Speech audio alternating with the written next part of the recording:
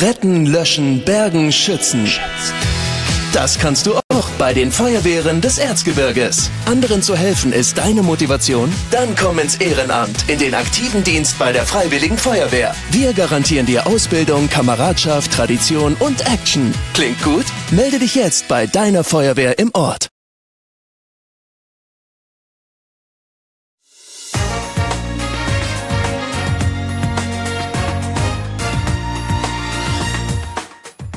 ErzTV Kompakt beschäftigt sich am Donnerstag mit Begreifen im Freien, warum hängt die Fledermaus verkehrt herum? Beratung in Aue, wo können Verbraucher Rat bekommen? Und Geschichte in Bildern, was geschah vor zehn Jahren?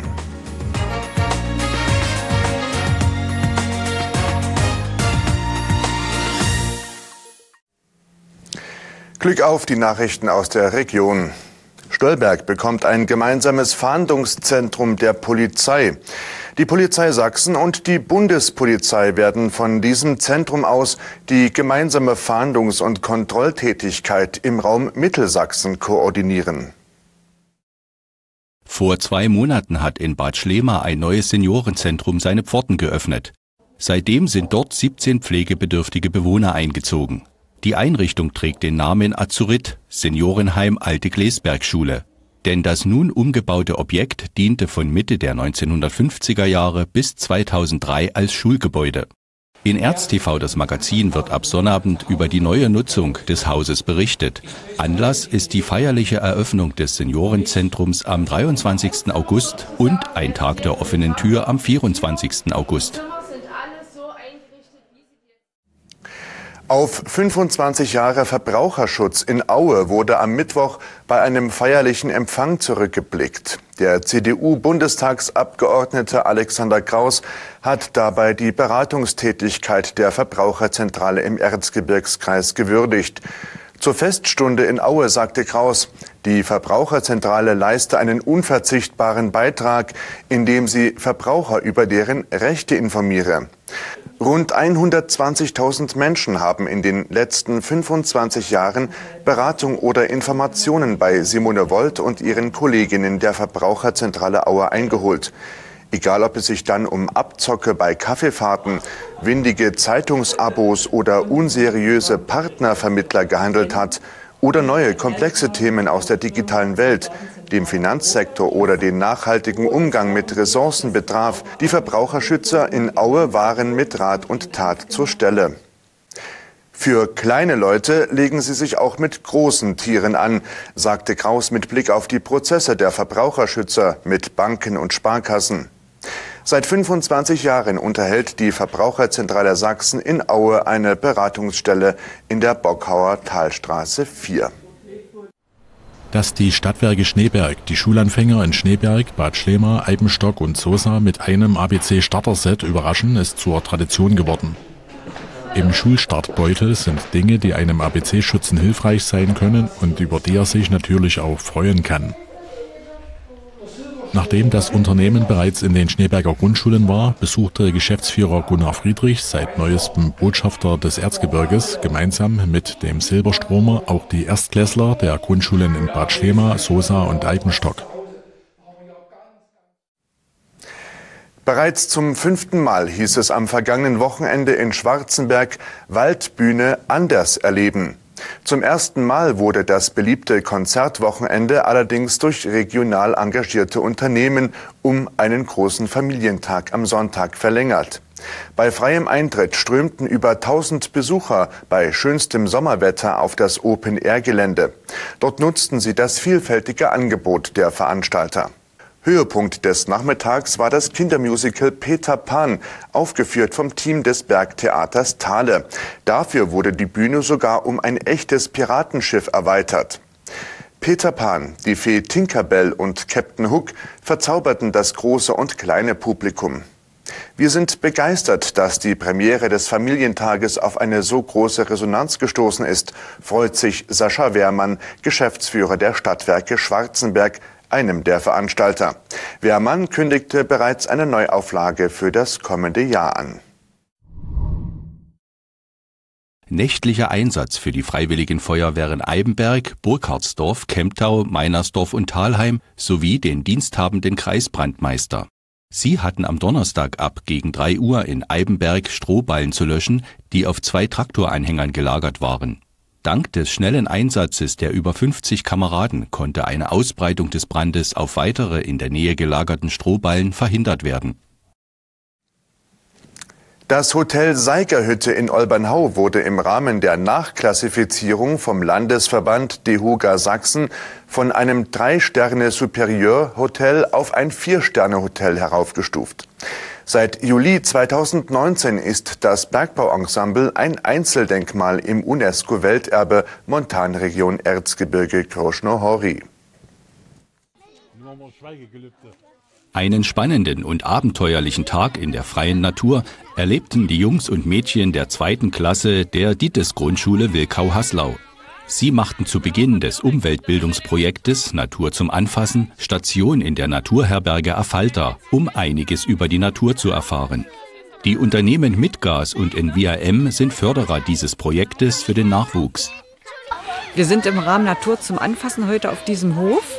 Affalter ist einer unserer jüngsten Projektpartner im Rahmen des Projektes. Zehn Jahre insgesamt unterstützen NWM und Mitgas das Projekt schon.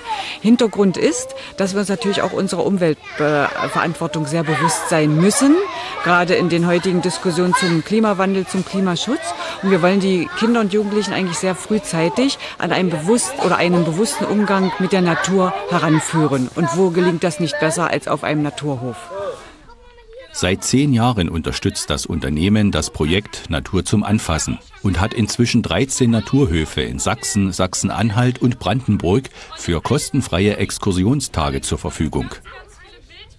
Auf dessen Höfen können Kinder der Klassen 2 bis 6 kostenfreie Exkursionstage genießen, wie ebenfalls an der Naturherberge in Affalter. Eine erste Einstimmung auf diesen Naturerlebnistag vermittelte Caroline Prott den Kindern. Sie zeigte den Jungs und Mädchen einige Insekten wie Käfer, Hummeln und Wildbienen. Aber auch die unterschiedlichsten Entwicklungsstadien von Insekten waren Thema an diesem Tag. Und dann lernten die Kinder noch, warum es überhaupt kein Unkraut gibt und warum die Brennnessel im Garten so wichtig sein kann für Schmetterlinge. Großes Staunen gab es dann bei den Grundschülern, als sie ein Wespen- und ein Hornissennest sahen. In diesem Jahr heißt der Themenschwerpunkt bei Natur zum Anfassen Naturphänomene. Warum hängt die Fledermaus verkehrt herum? Ja, warum hängt sie eigentlich verkehrt herum? Dazu hatte Alea eine Vermutung. Ähm, die Fledermaus, die hängt kopfüber an ihren Beinen, damit die schneller losfliegen kann. Zur Begrüßung der Kinder kamen einige Vertreter von NVAM und Mitgas sowie der Bürgermeister von Lösnitz Alexander Troll. Er begleitete die Kinder zu einigen Stationen und war verblüfft über die Kenntnisse der 27 Schüler und Schülerinnen. Die Steppkes lernten, dass der Mensch fünf Sinne hat und dass bei einigen Tieren davon einige besonders stark ausgeprägt sind, wie zum Beispiel beim Adler, der besonders scharf sehen kann. Und warum bekommt ein Specht keine Kopfschmerzen, wenn er doch den ganzen Tag am Holz zimmert? Und auch hier gab es eine verständnisvolle Antwort.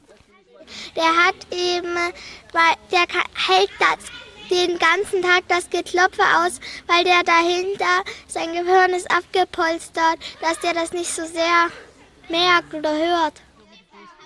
Auch der Tastsinn der Kinder wurde auf die Probe gestellt. Sie mussten mit verbundenen Augen über unterschiedliche Untergründe laufen oder Bäume ertasten und diese im Anschluss wiederfinden. Und dann wurde noch der Geruchssinn der Kinder auf die Probe gestellt. Dazu hatte Caroline Brott vom Landespflegeverband Schneeberg-Lindenau einige Bilder und die dazugehörigen Geruchsproben mitgebracht. Erkannte Gerüche mussten nun nur noch den richtigen Bildchen zugeordnet werden und die Aufgabe war erfüllt. Langsam aber sicher stellte sich der Hunger bei den Kindern ein. Bevor es aber zu Tisch ging, wurden kurzerhand noch einige Äpfel geerntet, denn die sollten den Mittagstisch bereichern. Ein Tag, an dem Kinder Naturphänomene austesten können. Wie wichtig sind solche Veranstaltungen wie diese hier in Affalter? Ja, das ist äh, extrem wichtig, solche Veranstaltungen, weil viele Kinder kommen gar nicht mehr raus oder selbst wenn, Eltern wissen manchmal gar nicht, was kann man so mit Kindern machen, was kann man ihnen beibringen. Und um ihnen halt so Natur näher zu bringen, zum Fühlen, zum Anfassen, um Wissen zu vermitteln, praktisch draußen. Denn am Ende hat man nur ein Interesse für etwas und schützt etwas nur, wenn man es auch irgendwie kennengelernt hat. Und äh, darum sind solche Tage extrem wertvoll für die Kinder. Und auch letztlich ist es eine Art von Naturschutz am Ende, den man damit langfristig ermöglicht, wenn man die Begeisterung für, das, für Natur weckt halt bei den Kindern. Und wie bekommt man aus einer kleinen Holzscheibe Seifenblasen? Ganz einfach, mit fit und kräftigem Pusten. Hat man den Dreh raus, ist es ganz einfach. Naja, ganz so einfach war es dann doch nicht. Diesen Tag werden die Kinder von der Dittes-Grundschule aus Wilkau-Haslau nicht so schnell vergessen. Und darum nahmen nun alle Kinder vor der Naturherberge in Affalter noch einmal Aufstellung für ein gemeinsames Gruppenfoto.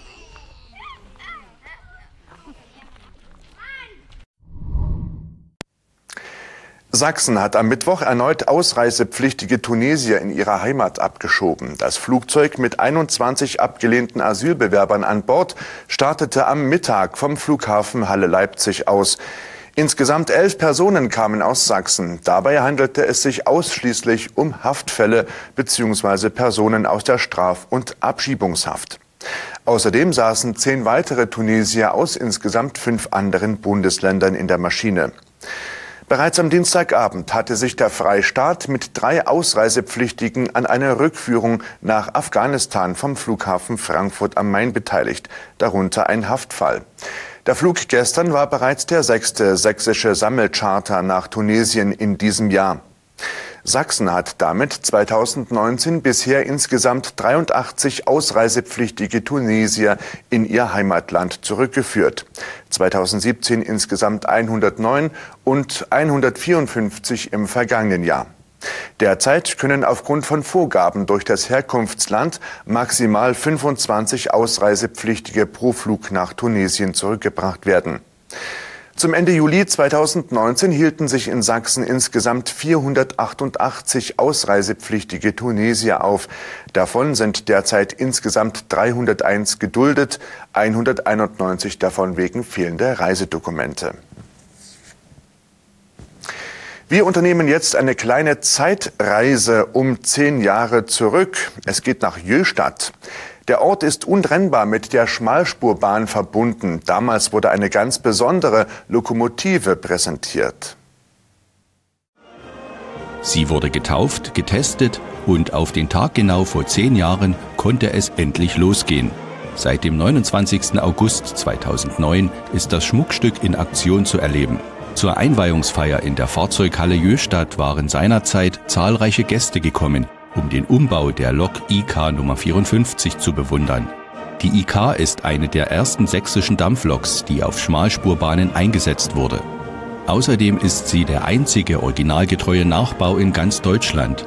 Rund drei Jahre hatte es gedauert, bis die Lok Nummer 54 endlich einsatzfähig war. In Schwarzenberg ist vor zehn Jahren eine im Jahr 1878 gegossene Bronzeglocke in ihre Heimat zurückgekehrt. Nach einem Umzug durch die Stadt wurde ihr zu Ehren an der St. Georgenkirche am 29. August 2009 ein kleines Fest gefeiert. Die Glocke hatte seit 1943 mehrere Stationen, darunter zwischenzeitlich wieder in Schwarzenberg. Zuletzt schlug sie aber in der Kirche zu Langebrück bei Dresden. Dass sie wieder nach Schwarzenberg kommen konnte, ist auch dem Glöcknerverein zu danken. Für 13.000 Euro wurde das gute Stück den Langenbergern abgekauft.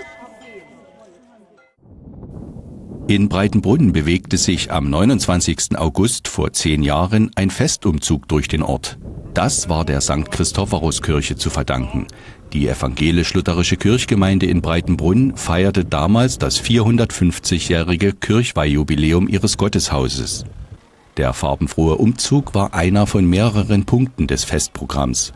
In zwölf Bildern stellten etwa 270 Mitwirkende die Geschichte der Kirche bis hin zu den einzelnen Kirchenkreisen dar. In der Kirchengeschichte taucht mit Pfarrer Wolfgang Uhle ein bekannter Name auf. Als Pestpfarrer bekannt geworden, versah Wolfgang Uhle von 1568 bis 1594 in Breitenbrunn seinen Dienst. Was tun in der Freizeit? Hier ein Open-Air-Tipp. Jan-Josef Liefers rockt erneut in Bad Elster. Am Samstag, dem 31. August, lädt der Publikumsliebling um 20 Uhr mit seiner Band Radio Doria zum Sommer Open Air in die natürliche Arena des Naturtheaters Bad Elster ein. Stilistisch sind Radio Doria nach nunmehr zwei Alben vielfältiger geworden. Mit Einflüssen aus den 80er und 90er Jahren über Funky Grooves bis hin zu klassischen Streichersätzen ist alles dabei. Zu einer Benefizveranstaltung wird am Sonnabend in Lösnitz eingeladen. Im Mume Campus am Markt verspricht der zweite Musikcocktail ein buntes Unterhaltungsprogramm mit Musik und Überraschungen. Beginn ist 18 Uhr. Der Eintritt beträgt im Vorverkauf 6 Euro und an der Abendkasse 7 Euro. Kinder haben freien Eintritt. Karten gibt es im Vorverkauf in der Café Eisbar bei T. Elke Postneubau sowie im Mixed Lottoladen. Der gesamte Erlös wird an die Lösnitzer Stiftung zur Unterstützung krebskranker Menschen übergeben. Die Top-Veranstaltung für Leichtathletikfreunde im Erzgebirge ist der Thumer Werfertag. Am Freitag sind bei dessen 16. Austragung wieder Weltklasseleistungen zu erwarten. Dafür garantieren in den Disziplinen Kugelstoßen, Diskus und Speerwerfen eine Vielzahl von Olympia-, Welt- und Europameisterschaftsteilnehmer aus 14 Nationen. Bevor 17.30 Uhr die Hauptkämpfe beginnen, zeigen hoffnungsvolle Nachwuchsathleten ab 16.45 Uhr ihr Können. Und zum guten Schluss noch ein Auweier des Tages. In der freien Presse hat Bundestagsabgeordneter Stefan Kühn von Bündnis 90 Die Grünen den Betreiber der Schachtanlage im Luchsbachtal bei Pöhler diskreditiert. So sieht das zumindest die SME, die Saxony Minerals and Exploration AG. Kühn stellte maximale Gewinne der Bergbauunternehmen maximalen Verlusten für Menschen und Natur gegenüber. Der Betreiber verweist auf ihren Umweltplan, den sie von einem unabhängigen Umweltplanungsbüro erstellen lassen haben. In dem Papier, das Grundlage für weitere Genehmigungsschritte ist, seien alle geforderten Untersuchungen zusammengefasst und entsprechende Maßnahmen festgelegt worden. Das betreffe die Umweltverträglichkeit, Artenschutz, Ausgleichsmaßnahmen, Grundwasser, Abraumhalde, Nachnutzung des Geländes und vieles mehr. Nach Meinung der SME AG habe das Büro gründliche Arbeit geleistet und alle möglichen Aspekte berücksichtigt. Befürchtungen, das Besucherbergwerk oder Waldwege würden nicht mehr erreichbar sein, räumte das Unternehmen in einer Pressemitteilung aus. Die Einschnitte für Natur und Menschen seien auf ein Mindestmaß reduziert. Demgegenüber stünden aber eine wirtschaftliche Aufwertung der Region, die Schaffung zahlreicher Arbeitsplätze und die Nutzung des hier geförderten Materials ohne schlechtes Gewissen, Kinderarbeit oder die Förderung durch für Mitarbeiter unzumutbare Bedingungen seien hier ausgeschlossen.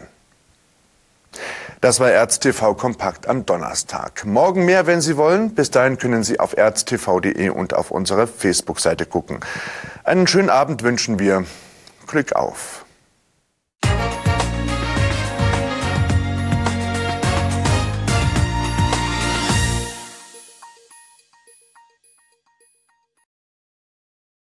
Landtagswahl Sachsen 2019. Sehen Sie nun eine Wahlwerbesendung. ErzTV ist zur Ausstrahlung von Wahlwerbung verpflichtet. Für den Inhalt und die Gestaltung sind ausschließlich die werbenden Parteien und Wählervereinigungen verantwortlich. So geht's nicht weiter. Aber wir können eine ganze Menge bewegen. Es geht um die Zukunft von Sachsen und von uns allen. Zuhören, verstehen und umsetzen. Ich möchte, dass wir den ländlichen Raum stärken. Wir werden mehr investieren in Infrastruktur und in Forschung und Entwicklung. Lasst uns hier gemeinsam was machen. Damit wir auch in Zukunft vorn dabei sind. Kinder sind einfach großartig. Für unsere Kinder arbeiten wir. Das ist alle Mühe wert. Ich bitte Sie um Ihr Vertrauen. Ich möchte, dass Sachsen zu einem der sichersten Länder wird. Beim Thema Sicherheit machen wir keine Kompromisse. Ich arbeite dafür, dass Vernunft und Anstand gilt. Und dafür brauche ich Ihre Stimme. Ich bin ein Herzmensch und dazu stehe ich. Eine Mischung aus Gefühl und Kompetenz ist genau das, was Politik ausmachen sollte. Doch funktioniert diese Mischung heute im harten politischen Alltag? Nach meiner ersten Legislaturperiode im Sächsischen Landtag kann ich jetzt sagen, ja, das geht. Auf diesem Weg möchte ich weitergehen, für unser Erzgebirge. Heimatverbundenheit ist für mich nicht nur ein Wort. Heimat ist Lebensgefühl. In Raschau bin ich zur Schule gegangen, habe dort Handball gespielt. Den Teamgeist lebe ich heute noch. Und so stelle ich mir auch das Erzgebirge und das Sachsen der Zukunft vor. Gemeinsam Werte schaffen, gemeinsam in einem schönen Umfeld leben. Unsere Kinder sollen nicht entscheiden müssen zwischen besserer Bezahlung und ihrer Heimat. Wer hart arbeitet, soll auch hier vernünftig bezahlt werden. Hort und Kita sollen kostenfrei sein. Unsere Kinder haben das verdient. Sie sollen länger gemeinsam lernen dürfen. Sie sollen auch später einmal gut mobil sein, am besten mit Bus oder Bahn über Tarifgrenzen hinweg. Sie sollen hier guten, bezahlbaren Wohnraum finden. Infrastruktur darf kein Privileg der großen Städte sein. Nicht bei Verkehr, bei bezahlbarer medizinischer Versorgung oder online. Ich bedanke mich für Ihr Vertrauen, dass ich fünf Jahre im Sächsischen Landtag für Sie tätig sein durfte. Als Herzmensch mit Sachverstand lagen mir besonders die kleinen Sorgen am Herzen. Aber auch bei den großen Entscheidungen auf Landesebene habe ich nie gegen meine Überzeugung gehandelt. Als gelernte Krankenschwester und überzeugte Sozialdemokratin habe ich und werde ich mich auch zukünftig besonders zum Thema Gesundheitspolitik und Pflege engagieren. Herzmenschen lassen nicht locker, wenn sie von einer Sache überzeugt sind. So ist es mir gelungen, 200.000 Euro Förderung für unser Erzgebirgshospiz zu gewinnen. Sehr gern bin ich weitere fünf Jahre das Herz der Erzgebirger in Dresden. Ich bedanke mich für Ihr Vertrauen und hoffe zugleich auf Ihre Stimme am 1. September. Ihre Simone Lang.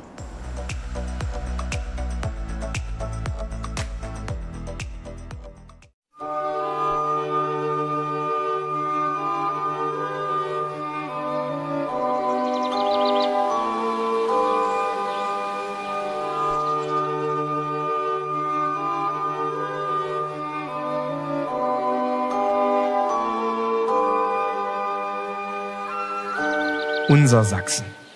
Der schönste deutsche Freistaat.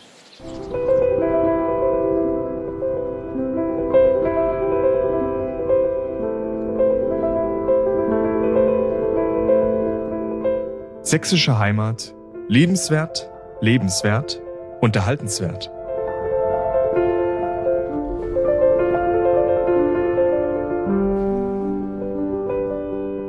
Tolle Wälder, tolle Landschaften.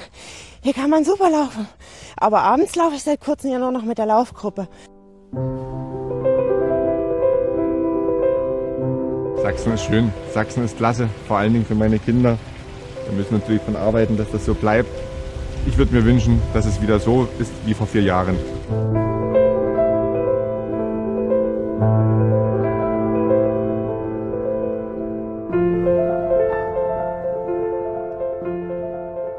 Geben Sie zur Landtagswahl am 1. September 2019 die Erst- und die Zweitstimme der AfD. 30 Jahre Ungleichheit sind genug. Reich und arm, Stadt und Land. Wir brauchen einen neuen Aufbruch, Fortschritt und Zusammenhalt. Renten rauf, Löhne rauf, Sachsen rauf, Nazis raus. Wer sagt, wir sind nur Träumer? Erfindungsgeist braucht Fantasie. Glashütte, Zwickau, Präzise Technik und beste Beispiele. Sachsen hat die Welt verändert und soll es auch in Zukunft. Zukunft Natur bewahren. Wirtschaft dem Menschen dienen. Gesellschaft ohne Wenn und Aber gerecht. Wir bringen das zusammen. Demokratischer Sozialismus. Für ein Leben in Würde. Am 1. September die Linke wählen. Landtagswahl Sachsen 2019 Sie sahen eine Wahlwerbesendung. ErzTV ist zur Ausstrahlung von Wahlwerbung verpflichtet.